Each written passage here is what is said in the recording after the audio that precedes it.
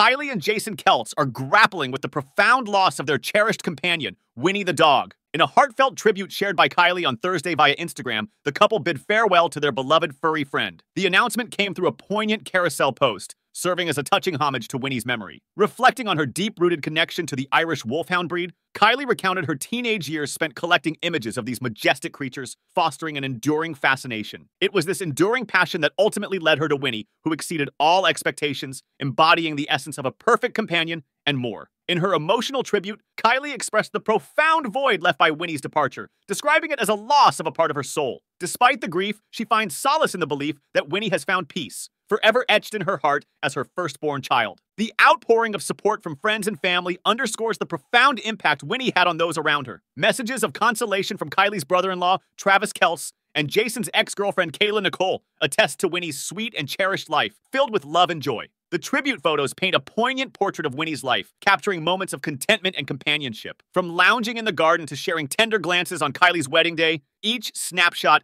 encapsulates the essence of Winnie's presence in their lives. Winnie's passing follows closely on the heels of Kylie's tribute to Jason's illustrious NFL career, marked by his recent retirement from the Philadelphia Eagles. In celebrating Jason's accomplishments, Kylie underscores their unwavering support for each other, emphasizing their shared journey through life's highs and lows.